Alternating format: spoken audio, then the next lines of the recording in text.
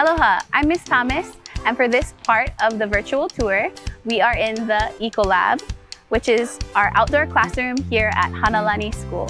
In the Eco Lab, we offer classes for both lower division and upper division students. With our lower division students, we learn how to plant seeds and identify different vegetables and fruits within our garden.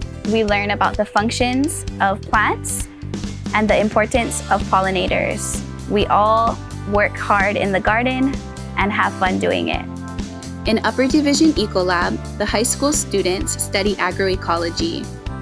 They have the opportunity to build and design a sustainable food garden, as well as practice organic methods of pest management.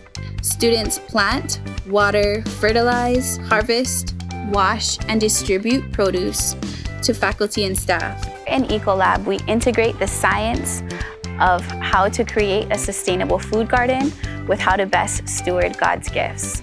Thank you for checking out our Ecolab classroom.